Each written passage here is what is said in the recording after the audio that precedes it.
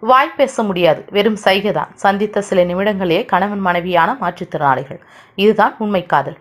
திருமண விழாவில் வாய் பேச முடியாத மாற்றுத்திறனாளிகள் இருவர் சந்தித்தபோது ஒருவருக்கொருவர் பிடித்து விட்டதால் திருமணம் நிச்சயிக்கப்பட்ட சம்பவம் அனைவரையும் ஆச்சரியத்தில் ஆழ்த்தியுள்ளது.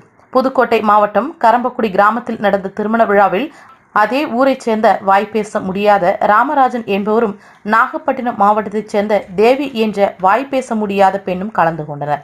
அப்பொழுது ஒருவருக்கு ஒருவர் யதார்த்தமாக சந்தித்து கொண்டனர். இருவரும் சைகையிலேயே பேசிக்கொண்ட பொழுது ஒருவருக்கொருவர் மிகவும் பிடித்து விட்டதால் திருமணம் செய்ய முடிவு செய்தனர்.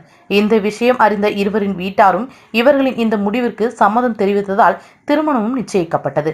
மேலும் இவர்களின் திருமணம் கரம்பக்குடி முருகன் கோவில் சன்னிதானத்தில் நடைபெற்று முடிந்தது. இந்த திருமணத்திற்கு வந்த உறவினர்கள் சிலர் இவர்களின் திருமணம் நிச்சயம் சொர்க்கத்தில் தான் நிச்சயிக்கப்பட்டு இருக்கும் என்று வாழ்த்து விட்டு சென்றது நெகிழ்ச்சியை ஏற்படுத்தியது. மேலும் இது போன்ற பல தகவல்களுக்கு எங்களுடைய சேனலை சப்ஸ்கிரைப் பண்ணுங்கள்